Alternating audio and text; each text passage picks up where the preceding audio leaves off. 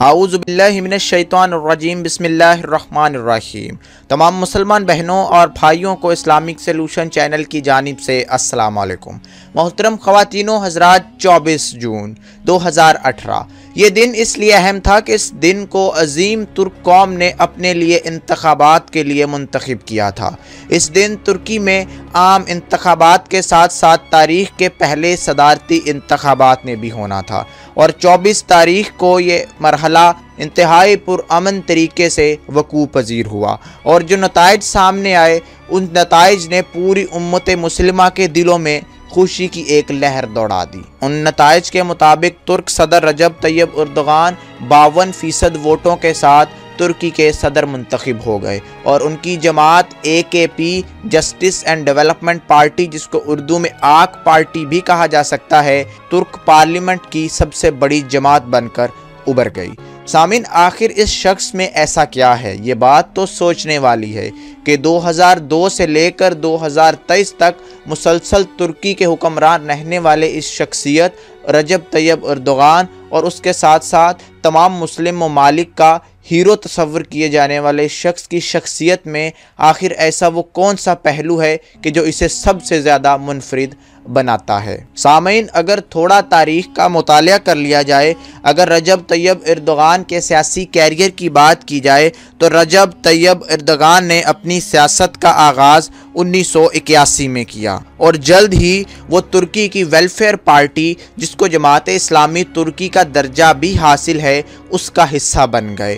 اور جماعت اسلامی ترکی کے چیئرمین نجم الدین اربکان کی قیادت میں اپنے سیاسی سفر کا آغاز کیا۔ انیس سو چورانوے کے اندر جب ویلفیئر پارٹی نے ترکی میں کامیابی حاصل کی، تو رجب طیب اردغان کو استنبول شہر کا امیر نامزد کر دیا گیا۔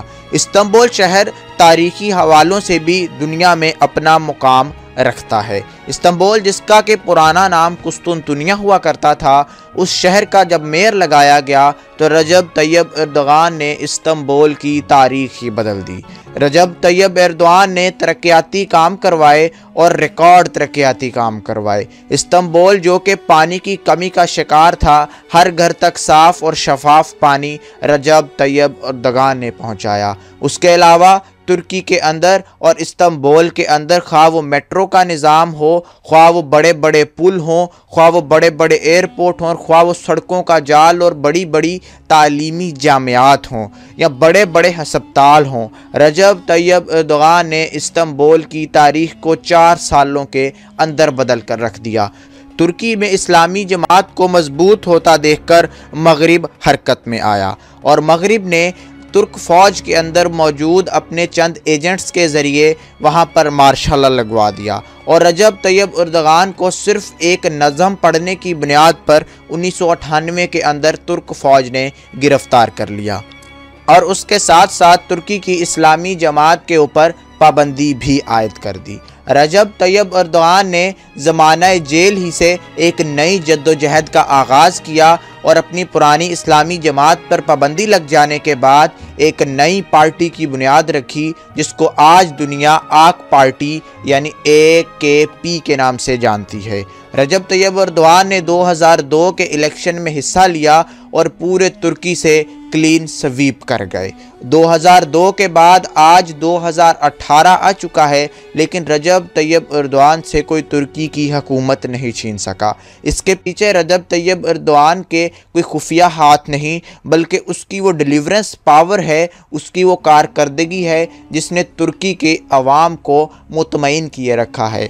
ترکی نے نہ صرف اپنے انفراسٹرکچر کو ڈیولپ کیا، بلکہ اپنے اداروں اور اپنے بلدیاتی اداروں کو خاص طور پر اس قدر مضبوط کر دیا کہ جو ترکی کی ترقی میں ایک اہم سنگ میل ثابت ہو رہے ہیں۔ سامر رجب طیب اردوان نے اپنے سیاسی کیریئر کے آغاز میں امریکہ اور باقی مغربی ریاستوں کے ساتھ مفاہمت کی پالیسی اپنائی۔ اس نے ان کے ساتھ تجارت بھی کی اور ان کی شرائط کو بعض اوقات مانتے بھی رہے۔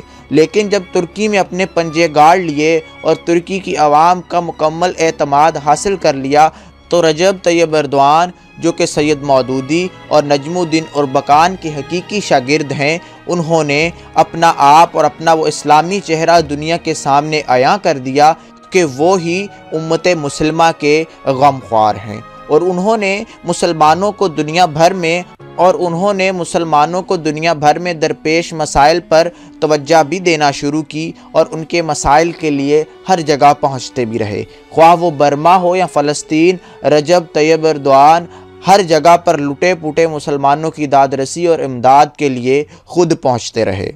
رجب طیب اردوان نے زخمی غزنس کو نہ صرف وہاں سے نکالا یعنی فلسطینیوں کو نہ صرف ترکی لے کر آئے، بلکہ آج دنیا میں سب سے زیادہ مہاجر اگر کسی ملک میں موجود ہیں تو وہ ترکی ہے۔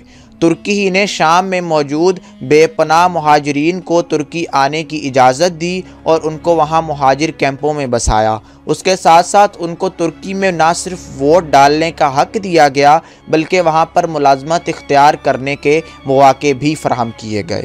کچھ ہی عرصہ پہلے جب امریکہ نے اپنا اسرائیلی سفارت خانہ فلسطین کے دارالحکومت یوروشلم کے اندر منتقل کرنے کا اعلان کیا، تو رجب طیب اردوان ہی وہ واحد مسلم شخصیت تھی جو سب سے پہلے اس کے خلاف کھڑے ہوئے۔ اور اسی ہفتے او آئی سی جو کہ اسلامی ممالک کی تنظیم ہے، اس کا اجلاس نہ صرف استنبول میں بلایا، بلکہ اقوام متحدہ میں امریکہ اور اسرائیل کے خلاف عملی طور پر قرارداد بھی جمع کروائی۔